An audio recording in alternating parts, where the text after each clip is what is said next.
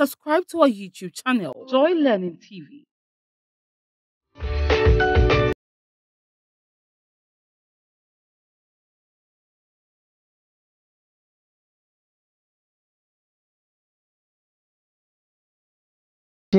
of Joy Learning with me, your science facilitator, Opoku, is here.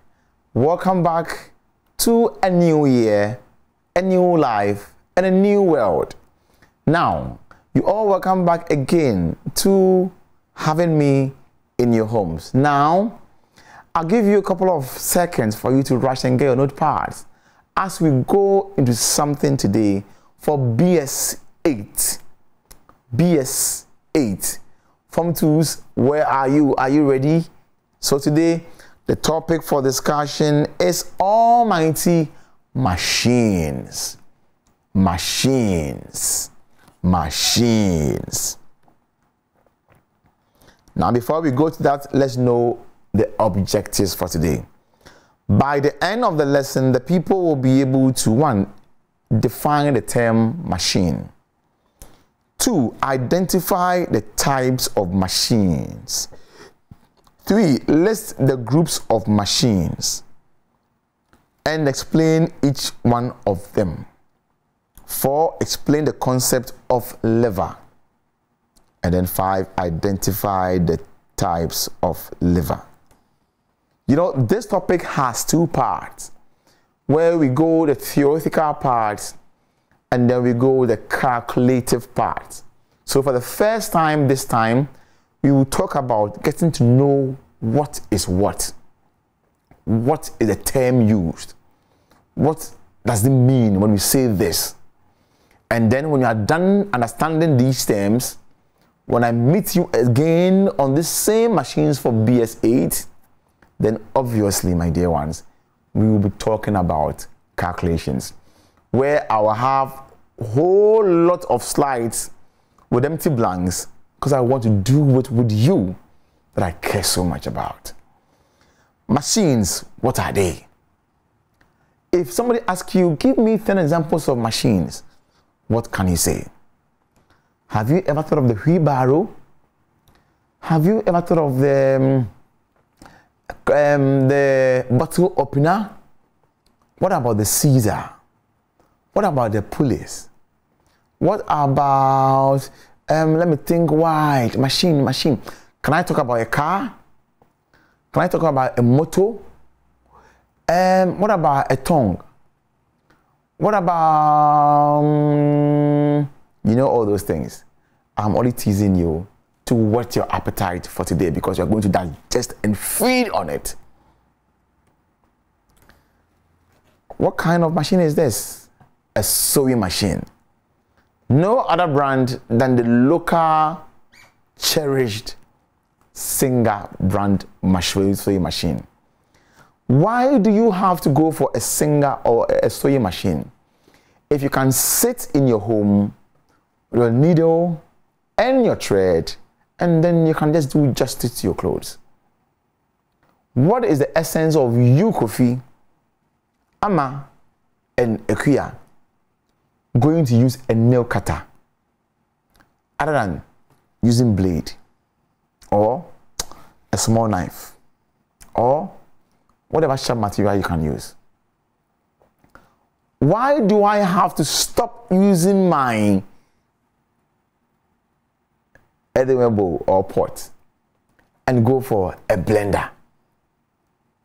Why do I have to put the load in a wheelbarrow and push it?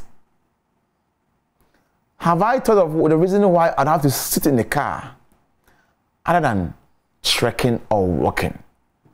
This is the day for you. We are going to do justice to that. A machine is a device that helps or allows us to do work more easily and faster.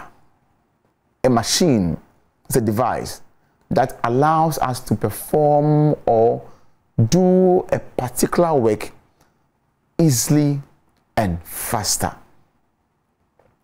If I'm walking from here to Nima, how many minutes will it take me? If I pick a car from here to Nima, what will it be the same number of minutes that I use in trekking or walking? If I want to exercise my muscles because I want to grind in the earthenware bowl or pot, how many minutes will it take me? And how many minutes will it take me to blend while the blender is in the kitchen? What about using my washing machine to just do my laundry? If I could sit and then do justice with my arms, it's all about machines. Machines. If all the items or gadgets that I mentioned are able to help you out there to perform a particular work faster and easier, then it means that that's part of that gadget or that thing called a gadget that helped you to perform that work is what is called a machine. It can also be defined as a device that allows a small force at one point to overcome a larger force at another point. A small force at one point being used to overcome a larger force at another end okay, I'm thinking of something.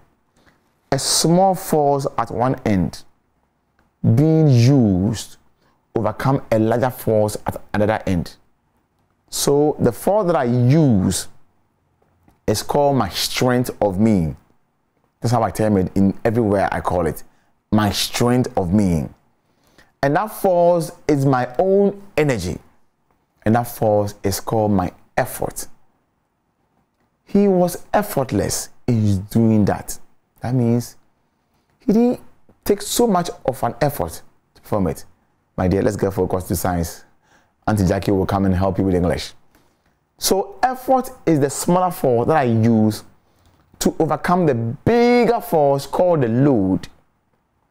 The load is the work that I want to do.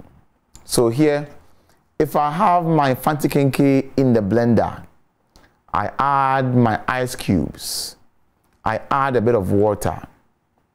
Uh, small sugar, not so much.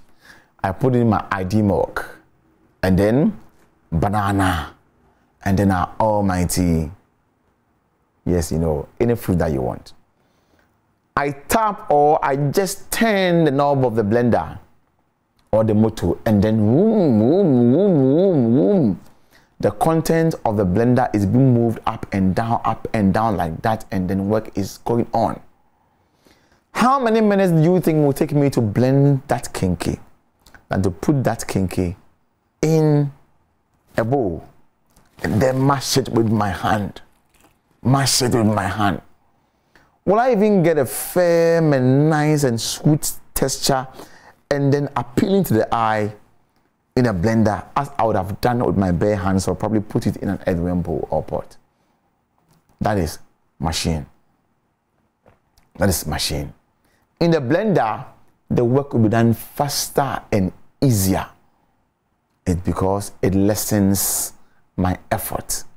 So me being able to do or go for that bigger load of a blender to do that work of a mash kenkey and then having a bigger load at the end that is the work that has been done.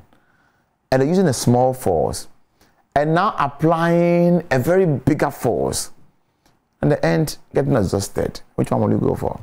The body's the cost examples of simple machines or devices are wheelbarrow cutlass ladder pair of scissors pickaxe bottle opener corn mill a plow a pulley, and then the rest. Types of machines.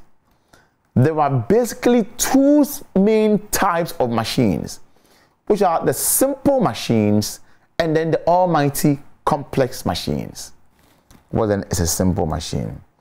A simple machine, in my own words, I would say they are machines that use simple gadgets or simple parts to perform work. A simple machine is any simple device that helps to do work, having simple parts to do the work. Simple machines are machines that are used almost every day in our daily activities. They can be constructed easily, have few or no moving parts, and also have a fixed point called pivot or fulcrum. Every simple machine doesn't have so much or so many parts that will be so cumbersome to operate.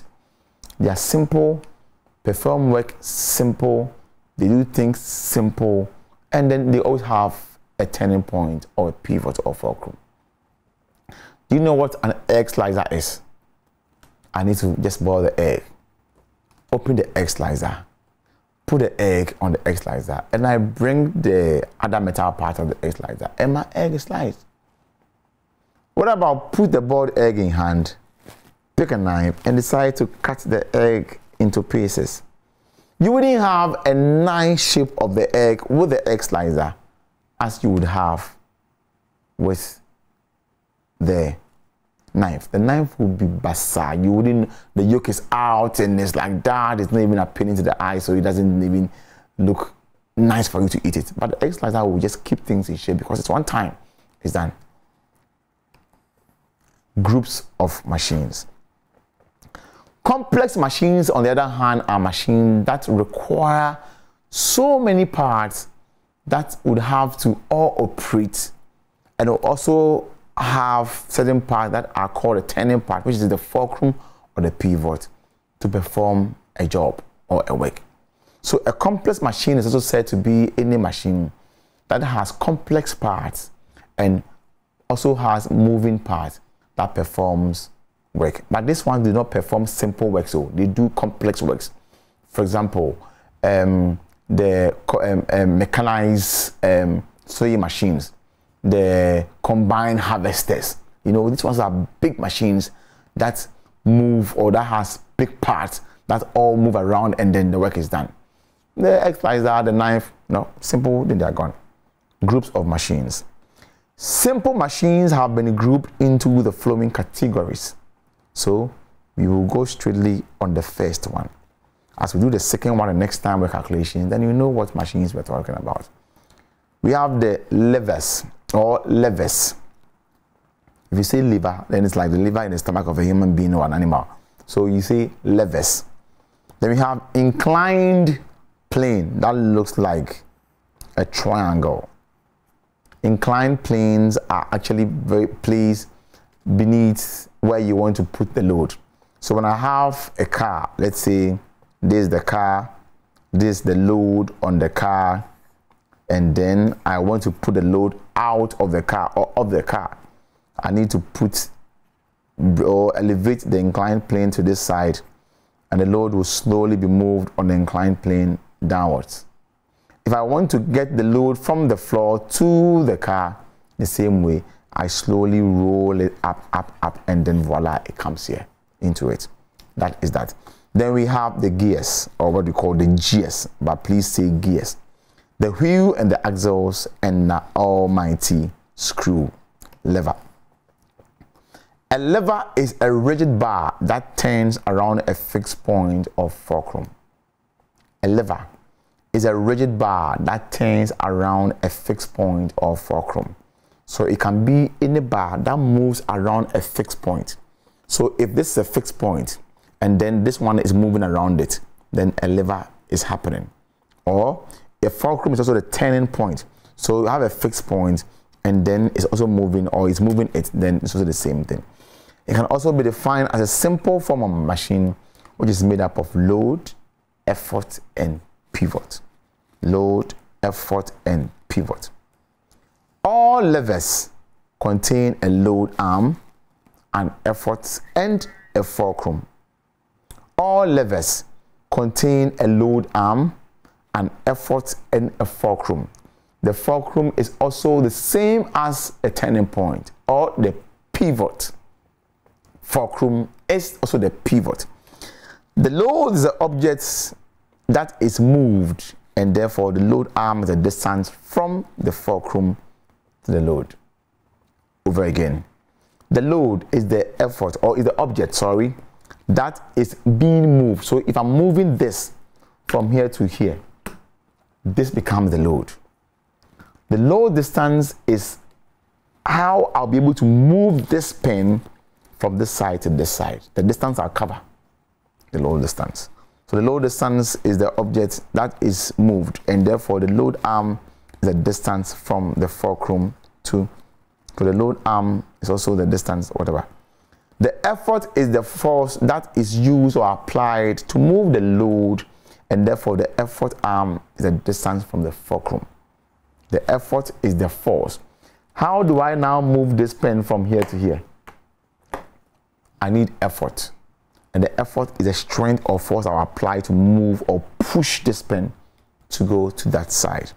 And so we say the effort is the force that is used to move the load, and therefore the effort arm is a distance from the fulcrum, the pivot. The pivot. Okay. Parts of a lever. Parts of a lever. A lever has three main parts, namely the L, the F or P, and the E. The L is the load part, the pivot or the fulcrum is the F, and our almighty strength of effort. Definition of terms effort. It is the force applied at one end of a lever to overcome a load. The effort, if I push you from behind, or I push you when you are facing me, the strength that I use in pushing you will determine how long you go from me before, if possible, you fall. If I throw something across a place, the energy or the effort that I use in throwing the item will also determine how long that thing I've thrown will go before it now falls pivot or fulcrum. It is a fixed point of a lever on which a turning place, a turning takes place. So if I have a fixed point here, something is rotating around it, that is the pivot or the fulcrum. So this, and then there's a I think it's turning around. That is the pivot. Effort distance is a distance between the effort and the pivot. So the effort and the pivot. The effort is the effort that I'll use. The pivot is the fixed point on which something turns around. So effort distance, the distance between the effort and the pivot. Load distance. It is the distance between the load and the pivot. Now, let me talk about this. If I have a man who is pulling a truck. Where is the effort? Where is the load? Where is the pivot? Think about it. I'll come for my answer very soon. It is the distance between the load and the pivot. All levers, the positions of the pivot, or in all levers, the positions of the pivot, effort, and the load determine the class of the lever. We can have first class, second class, third class. These are the three main classes of levers. And the location of each of the parameters, whether load, effort, pivot, will tell us what kind of machine or lever it is or what class it belongs to. Types of levers. Uh-huh. There are three different types of levers, namely the first class lever, the second class lever, and then the third class lever. First class lever, second class lever, and then the third class lever. First class lever. Uh-huh. Every first class lever has been displayed on your screens. The first class lever is a lever that has the pivot between the load and the effort. So you have E, P, L. E, P, L. Now, what item or what gadget has the pivot, a fixed point that rotates between the effort and the load, or the load and the effort? Can I talk about a secateurs? Can I talk about a pair of scissors? Can I talk about mention them? A plier. Okay, let's see if they are true or not. Second class lever. Second class lever has the load between the effort and the load and the pivot, sorry. So before we go to second class lever, let's get the examples under each of them. So now I have the pivot, the turning point. In between these two, the load is here, the effort is here, the pivot is in the center. If I have a scissor and then I want to cut something, okay, this side is the center of it that is fixed. And then whereby, because it's fixed, these two are able to move. So a pair of scissors is a typical example of a first class lever. A secateurs, which I explained the last time I met you, is also an example of a first class lever. A plier is also an example of a first class lever. The funny thing about all this is that they all look like a pair of scissors because they have so many parts or every part in common. Let's go to talk about the second class lever.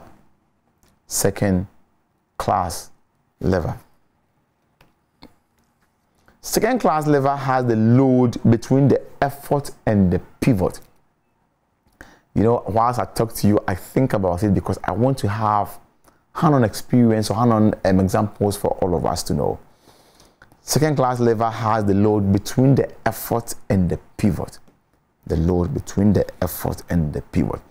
The abbreviation for remembrance of the second class lever is PLE or ELP. So whenever you have it this way, the load is in between second class lever. The common one that is mostly used is the PLE.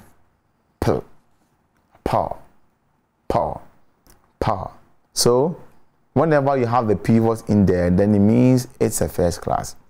The load in between is a second class. The effort in between is a third class. The, okay, the best example of a second class lever is a wheelbarrow.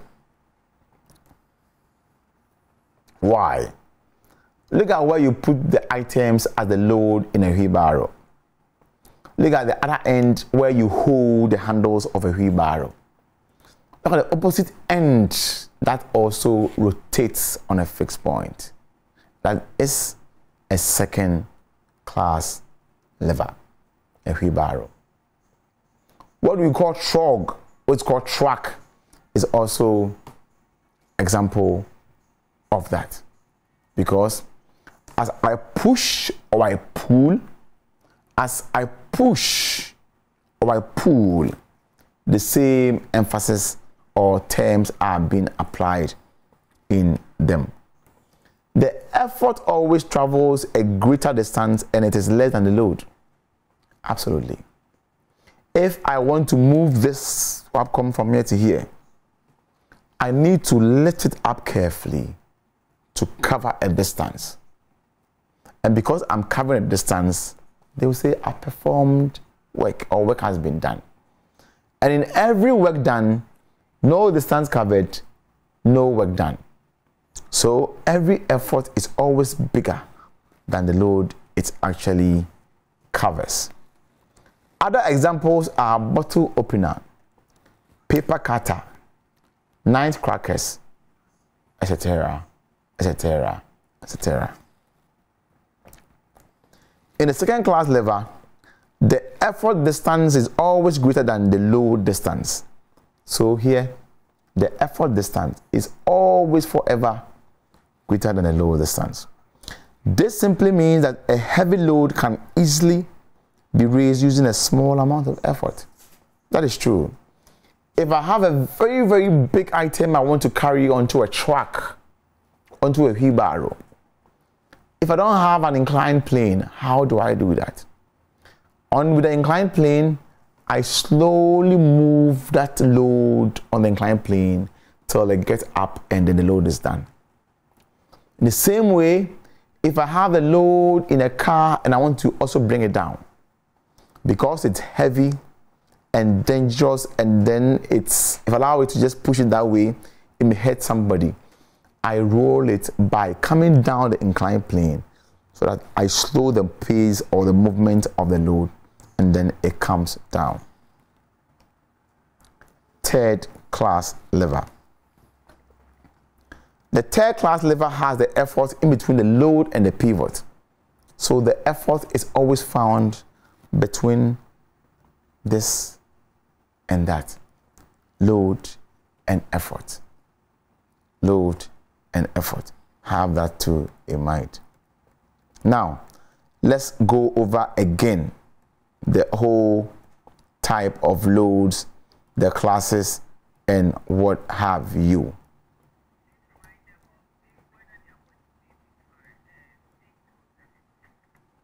Okay. Always have it in mind that machines can always be seen in BS 8. It is a Form 2 lesson, BS 8. So let's go on and talk about it again. What is a machine? Per this, we have a sewing machine. And the sewing machine does so many things. I will try to sew a shirt with a bare hands. How many minutes would that take me? Will it be two hours, two days, two weeks, two months, or two years? That will depend on the kind of shirt I want to put up. With a machine, that will be fast if only my raw materials are ready. I don't need to sit down and then move my needle and then my thread over and over again on the shirt or material before I form a shirt. That brings us to machines. A machine is a device that helps or allows us to work more easily and faster. A machine is a device that helps or allows us to work more easily and faster. So, if I'm able to do something in the quickest time possible, without any so much effort being applied to it, that thing that I did is a machine, and the machine is going to work for me. Can also be defined as a device that allows a small force at one end, which is called the effort, to overcome a larger force that's a load at another end or point. Examples of machines include the simple machine, which are wheelbarrow, cutlass, a ladder that I'll climb on it to get to a height, a pair of scissors, a secateur, a plier, a pickaxe, bottle opener, a sickle, a corn mill, a plow, or a plow, a pulley, and the rest. All these are examples of machines, types of machines. There are only two types of machines, and these two types of machines are simple machines and complex machines. Simple machines are machines that have simple parts, which also have simple moving parts that helps to perform the work easier and then quicker. A simple machine is any machine with simple parts and simple movable parts that helps the work to be done easily and quickly. Complex machines, on the other hand, are machines with complex parts and complex movable parts that helps to do complex work more easily and quickly. Uh-huh. So I believe by now you know all that it entails. Simple machines are machines that are used almost every day in our daily lives activities. They can be constructed or made easily, but also have few or no moving parts and also have a fixed point called a fulcrum or pivot. Groups of simple machines. Complex machines, which I've explained earlier. So we can have the bigger machines that do so many things like the tractors, the bulldozers, the combine harvesters, the planters, and the rest. All these are also complex machines because they rotate or move around complex parts. Simple machines have been grouped into the following categories as levers, inclined planes, gears, uh, wheels, and then axles, and we have screws. Uh, we are doing levers today. The inclined plane, the gears will come with the calculations of machines. And let's go to the lever or the lever. The lever. No, it's not lever, it's lever. A lever is a rigid bar that turns around a fixed point or fulcrum. So every lever is any rigid bar which rotates around a fixed point or fulcrum. It can also be defined as a simple form of machine which is made up of load, effort, and then pivot. So somebody asks you what is a simple machine, nine, it, or a lever, it is any simple machine or simple form of machine that consists of the load, effort, and the um, pivot as its part. All levers contain a load arm, an effort, and a fulcrum. The load is the object. The load is the object that is moved, and therefore the load arm is the distance from the fulcrum to the load. Let me take this again. The load is the object that is moved, and therefore the load arm is the distance from the fulcrum to the load. So if I have this load that I want to move to this side, the distance from the turning point, rotating part, the pivot to the load is what is called the load distance or the load. The effort is the force that is used to move the load, and therefore the effort arm is a distance from the fulcrum. Parts of a lever. A lever has three main parts. We have the pivot, we have the effort, and we have the almighty load. Definition of terms. Effort is the force applied at one end of a lever to overcome a load. So whenever I talk about effort, is the force that someone needs to apply at one end of a lever so that a load can actually be overcome. Pivot, on the other hand, is the fixed point of a lever on which a turning again. Pivot is the or the fulcrum is the fixed point of a lever on which a turning place or a turning takes place. Effort distance is the distance between the effort and the pivot. So as you push the effort, then the pivot rotates. As I push the wheelbarrow, the wheels move. And so the distance between the effort and the pivot is the effort distance. Load distance is also the distance between the load and then the pivot.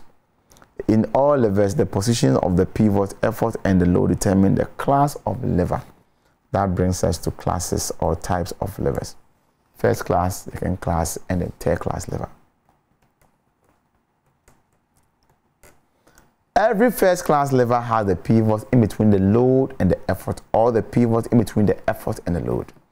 And I said we have example as the pair of scissors, a secateurs, a plier, and then any other thing that looks like a scissor, in which okay we also have um, a surgical scissor. see the way it is? It's also a scissor though. I was just trying to play smart and add more examples to it. Second class lever has the load between the effort and the pivot. The abbreviation for the remembrance of the second class lever is ple of elp the best example is wheelbarrow the wheel is the fulcrum, the handle takes the effort, and the load is placed in between them. The effort always travels a greater distance and is less than load. So whenever you talk about the effort, that is where the load or the that is where the whole energy is applied for a particular work to be done. So if I want to perform a particular work and then I don't put in the effort, how do I get that? You know, Even when you want to pass your exam so well, what do you do? You sit down. Even though you don't apply any strength or any effort, but you being resilient, you being able to resist any uh, attempts to go and play, watch movie, play games, move around with people, enjoy, go on a shopping spree without money. You go and do window shopping in town. But then you want to sit on your butt and then read your book. Is the efforts you put in to achieve the success of passing your exam so well. Other examples are bottle opener, paper cutter, nut crackers, and then etc. and many more. In the second class lever, the effort distance is always greater than the load distance because as I want to push a wheelbarrow, I need more energy to be able to push the wheelbarrow there and there to rotate on its wheels and then it moves. This simply means that a heavy load can easily be raised using a small amount of effort. That's very true. Let me fetch water into um, this bigger um, Fractor or whatever bottles okay? And then I put them into a wheelbarrow. I need small effort to make the wheelbarrow move. And the wheelbarrow is moving on a normal condition of the land, whereby it is not hilly. I don't need so much effort. It needs so much effort when I'm actually climbing. Then that means I would have to stress and push further.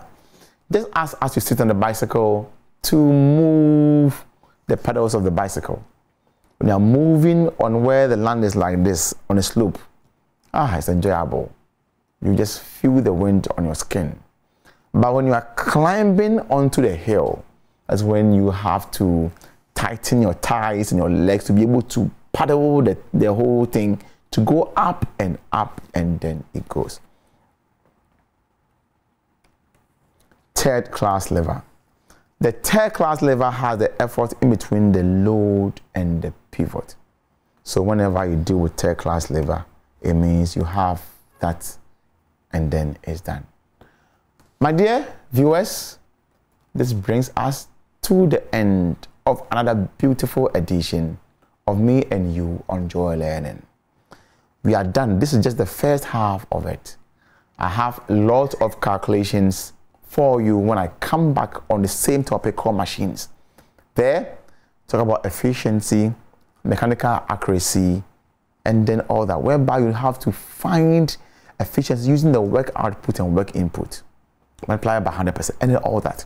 So, till I come into your homes, my name has always been Opoku, and the topic for today was machines on or in BS8. Till I come back and see you on the flip side. Bye bye and good luck.